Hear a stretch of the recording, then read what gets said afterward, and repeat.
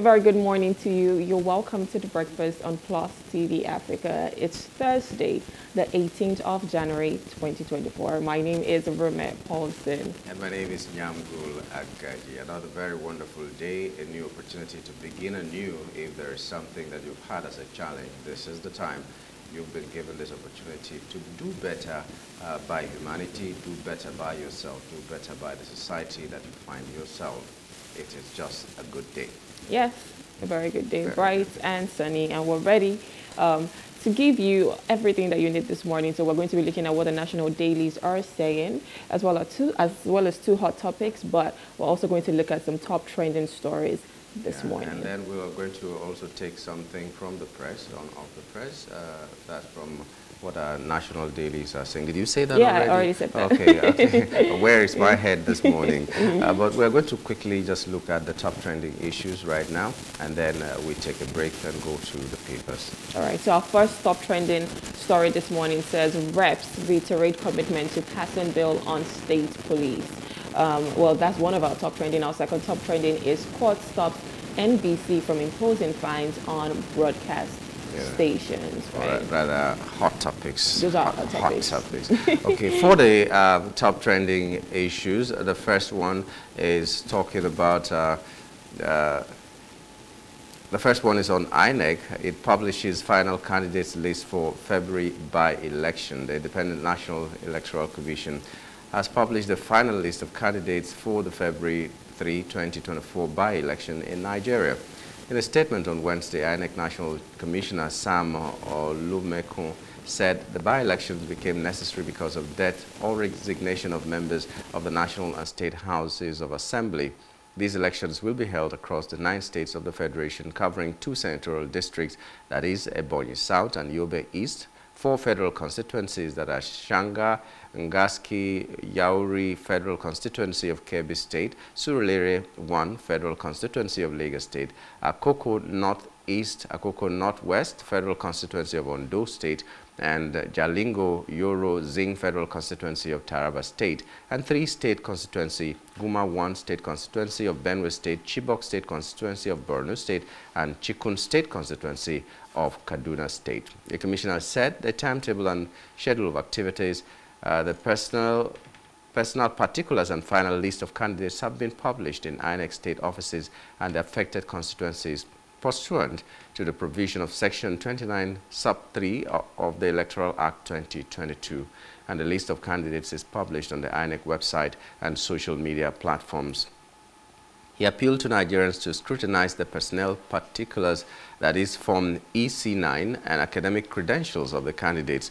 He asked that any aspirant who participated in his or her party primaries with reasonable grounds to believe that the information provided by the candidates is false can challenge the nomination in a federal high court as provided in section 29 subsection 5 of the federal of the electoral act 2022 the rerun elections are conducted pursuant to the orders of the election petition appeal tribunals I, I think we've had enough information already yeah. the, the, thing is we should never give room for that uh, the case where you'll go to court later on and they say that was a pre-election matter. Mm -hmm. This was this on grounds of technicalities. Do the needful now before it gets to February. Yeah, Simple. so that we don't keep having those court cases mm -hmm. over and over and over again because it seems like with every election, mm -hmm. everyone is, you go know that court. phrase, go, go to court. To court. go, go, to, court. court. That's the phrase. So let's just try and, you know, just make mm. sure that we do everything we need to do now, um, have a free and fair election and, you know, the, the, the people that um, everyone wants, the citizen wants, you know, mm. should just should just win, and we're all good. Mm -hmm. Let's start by changing uh, the way we, we select the selection process of our, the people Leaders. that superintend over us after the election. Mm. Okay. All right. So our next top trending story, we have federal government sets up committee to review laws on explosives. Um, the Federal Executive Council on Wednesday said it has set up a committee to review the laws guiding the control of explosives in the country. This is coming after the devastating explosion that rocked the ancient city of Ibadan, the Oyo state capital, on Tuesday night. The committee would determine whether these were violated by the illegal miners identified in the preliminary pardon, investigations by security agencies.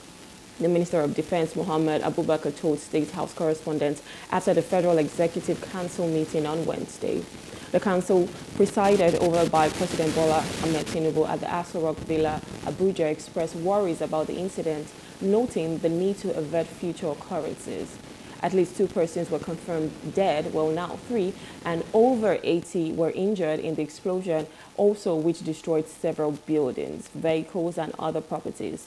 The Oyo State Governor, Seyi Makinde, who visited the scene of the explosion, confirmed the casualties, adding that the explosion occurred at Adeyi Avenue, Bodija. However, settlers say the blast was heard, was heard and felt kilometers away in many parts of the city.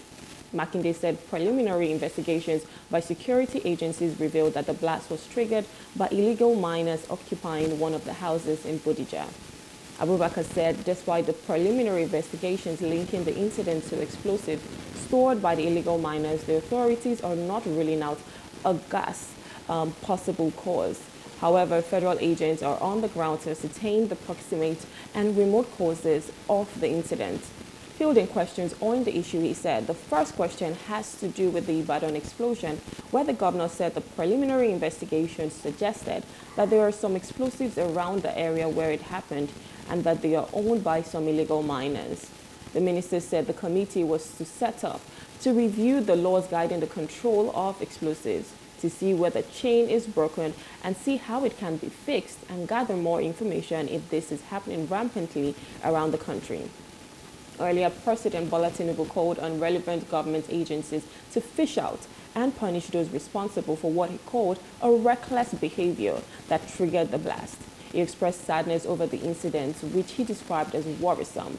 In a statement signed by Special Advisor on Media and Publicity, Ajuri Ngelale, the president said it is worrisome that the cause of the blast is being attributed to activities of illegal miner. I mean, um, all of our condolences go to the families or the people who were involved with this um, very sad incident. Um, about on Tuesday night, I heard about the blast. In fact, on social media as well, I saw videos of people's reactions um, when the blast was happening. So you're seeing, you know, youngsters on TikTok, they're, they're doing their videos, and then all of a sudden you're hearing yeah. this this huge blast. And now, as of this morning, we, we, we heard that about three lives. Initially, our report said two, but as of this morning, we're seeing that about three lives were lost. And our condolences, our hearts um, goes to the families of, of these people and even the people that are injured as well. It is quite, it's quite sad. And I mean, this committee is quite important because you can't just have explosives, you know, lying around. There are people's lives, you know, at stake for this as well. Well, I, I, don't know whether there is, we like forming committees all the time, committee this, committee that. Are there no laws against explosives? Uh, illegal, they are using the word illegal. illegal. Whatever is illegal, there's a law against that. Yeah. Why not look into how this can be enforced even more? You're, you're, you're setting up a committee to review the laws. The laws are good enough. These people were doing illegal uh, mining, and the people around there knew about it, or I don't know, maybe they thought they knew about it, because mm -hmm. sometimes you accost someone and they tell you that we have the relevant papers, they show you a government official has actually given them some papers mm. that will authorize them to do what they're doing. So there are no checks, enough checks uh, for this uh, enforcement of these laws. So why not look into that? You're setting up committees that will take a lot of money to mm -hmm. sit and uh, deliberate on things that we already know. The laws are there. Make them be enforced. That's yeah. what I, now lives have been lost. We don't even know if it's just three. Yeah. As at this moment, they're still looking at the rubble to see whether there are some people, there. under there. Yeah. There's a possibility that there may be another person. There may also be another person that was not in the rubble, but has died of heart attack somewhere. Yeah, will, will we know? Yeah. Uh -huh. it's a ripple effect. So yeah, the, the, explosion. So not just the three people. It has had a very, very, like you called it, a ripple effect on a lot of people that may not even be accounted for. Yeah. So let the laws be enforced. As simple as that. I agree. Well, um, another one is uh, as part of measures to tackle the menace of insecurity in the nation's capital, Abuja. We're talking about illegal settlements. Um, uh, the Federal Capital Territory Administration, FCTA, has begun the audit of illegal settlements and shanties across the territory with a view to pulling them down. Consequently, the Department of Development Control in the FCT administration has directed its field officers across the entire territory to submit a list of shanties and informal settlements for a verification exercise. The directive came as it emerged that the bandits again invaded Garam, a town in uh, Niger State which shares close boundaries with Bwari in the Federal Capital Territory, FCT. According to residents, the bandits who attacked on Tuesday killed one person and kidnapped nine others. Tuesday's attack was the fourth in a series of raids carried out by bandits in the community in less than a month. According to officials, the goal is to profile shanties and informal settlements that may have become a haven for criminal elements. Director of the Department of Development Control, Mukhtar Galadima, disclosed this on Wednesday during the removal of shanties and shops in Durumi 1. And according to him, the move is part of administration's broader strategies to enhance security and orderly development within the Federal Capital Territory. Meanwhile, the Secretary, Command and Control FCTA Department of Security Service, Dr. Peter Olumuji, said Durumi 1 is another notorious place uh, famed for upheavals. He said three people were arrested for being in possession of hard drugs and for obstructing the exercise. Okay, so FCT is being attacked only, almost on a daily basis by bandits. The Federal Capital Territory one of the reasons uh, the federal capital was moved from Lagos is oh, for security reasons, let it, yeah. let it go to the center of the country and all that. And in the center of the country, we're finding this. So if Abuja is not safe, where else is safe? safe? Right. I mean, because this started from um, up north. We started from Borno, mm. and you're hearing of, you know, all of these states that are being attacked. But I'm sure most times we think things are so far-fetched. Like you think it's, no, it's not going to, me and my mm. household were covered by the blood of mm, Jesus. Mm. you know. Not my portion. Not my portion, exactly. That's it, not my portion. They would never see us. But then you don't realize that it's closer than you think.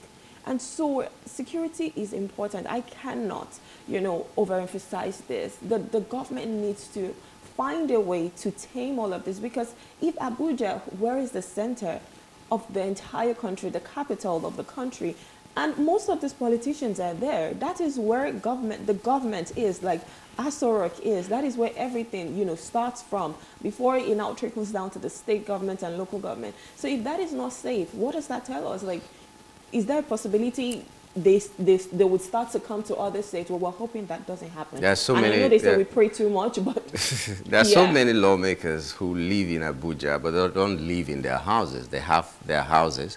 Their they government live, lodges. Yeah, they have, uh, but they live uh, in in very secure. Uh, hotels. Mm. There are people who have permanent rooms and yes. permanent uh, lodges in hotels and all that. Um, I, I, even if I, I can say, okay, they have the money to, uh, to get that, but what about the person who cannot go to that kind of a secure location? Mm -hmm. Now the next thing that is remaining is for them to kidnap people from Aso Rock because even all the lawmakers have been touched in one way or the other. Mm. Some of them have encountered these people and just were saved by uh, the bell, as it is, and yeah. all that. But you know, people who are living in places where they cannot get this kind of protection, what happens to them? When the new IG came into office, he said he was feeling like a tiger, like feeling like a lion. he, you know, uh, he was the Amotekun in person, and that he was going to withdraw all the orderlies that were attached to to mm -hmm. VIPs so that the police force will have a lot of people. He didn't do that. Every of them says that and they don't do it. So when we are lacking in personnel and you're still letting people go and take care of the VIPs, sometimes seven people, sometimes 10 people uh, from the police force for one VIP, then what happens to the rest of us? So when we're talking about security, recruitment is not just everything. Build confidence in the people to be able to give you uh, information, and then the people that are there, use them optimally not using people, 10 policemen for one VIP, 10 for another VIP. So how many will be left on the street to, to sure. secure us? So there are things that can be done, low-hanging fruits, but will they do it? The answer is well, almost we're, definitely we're, no. We're, we're, hoping, as usual, we're hoping that they do it. But I agree, like, why do, why do VIPs have so many I mean, the, there are private security firms that you can that say, okay, exactly, let's train them. With. Let anybody who needs a, a, guard or something uh, be uh, go there and get their services. Maybe if you must give one, give one. But some of these people move with an entourage. Yes, yes like a convoy. They're, they're, moving with like two, three vehicles. Maybe there's one in front. There are two, uh, two um, vans at the back. All mobile police. And when they come down, one has to come and open the door for them. Mm -hmm. One has to, you know, hold the bag of a madam. you know, why, why are we doing this? And at the end of the day, aside, aside the fact that, you know, we're not utilizing them, I'm like, how do their lives, how do the police men and women, how do their lives just how is their life just about that? I just have to open the door, follow somebody, hold their bag, Someone who and that's it. Someone who has gone alert. for training. You should be alert and you should be you know, mindful of the fact that if anything comes, maybe you need to draw your gun or something to protect the, your principal, you're holding bag. So I, I saw a video uh, some time ago where uh, the, the, the, policeman had to hold a plate while the madam, madam takes food mm. into the plate, you know, hold the plate. A policeman I, I mean, what, what, kind of thing is that? Mm. So when we're thinking about security, we should think about the orientation of the entire security architecture. Yeah. They need to know what their, their jobs are and mm -hmm. then mm-hmm. remove them from the VIP as you have always promised. Every single IGP that comes yes, says, says that, but that. he never, they never, they never do that. They never just, you know, follow through. Anyways, um, we, let's take our quote of the day. We're supposed to take that earlier on, but let's just take it now and, you know, just move this on a lighter note.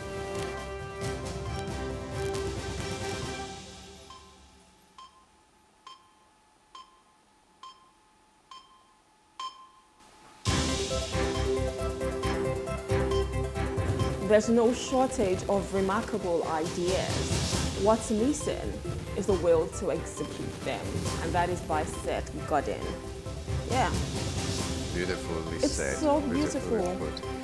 Um, the, the ideas are there, the will to execute them. It's just like we were talking, that we have laws, but the execution is the, problem. the problem. So it's not like, you know, you want to always go and find the ideas. The ideas are there, there, but how are we implementing these ideas? Yeah. And it's also, uh, as we started out this year, we were talking about how to build your 2024 to make it count even mm -hmm, more. Mm -hmm. And uh, procrastination is one of those things. Yeah. You have the ideas there, but you don't want to do them. Will you, to you want them, to, to you know, there is time for this, mm -hmm. there's mm-hmm. time for that. But then time is moving. Time is moving. It's not waiting for you. Time is moving. And if you're having a near-death experience, uh, the thing you regret it's not the things that you have done. You regret the things you, you left undone. Done. So if you, if you don't want to have regrets at the end of your life, do the things that you are set out to do. Do the things that come to your mind.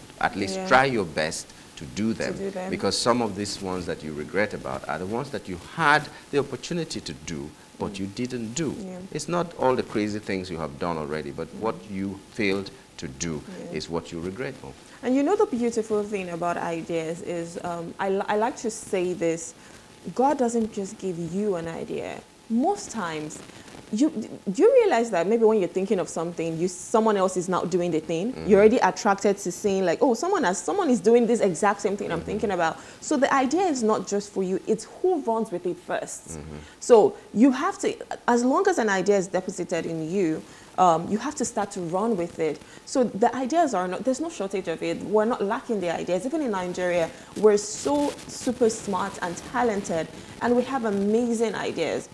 But then how do we start to execute them? And in executing those ideas is actually what makes you flourish, is what makes you thrive, is what makes you, you know, just become a better citizen for Nigeria, for your family, for your friends. So it's important that, you know, we start to execute them, get the will. Even, even if you do, even you're like, let me procrastinate. No, that's where the will comes in, the zeal to say, these ideas, I'm going to follow them through and, you know, just become Nobody better. can ever kill an idea whose time has come. Mm -hmm. That's one of the, one of the. Uh, unfortunately, we're not using that as the quote of the day today. Yeah. But an idea is more powerful than any, more powerful than anything you can think in the physical. Yeah. Once it's an idea or an ideology, it becomes very, very powerful. So let's chew on that as we take this short break, and when we return, we'll be looking at the papers. Stay with us.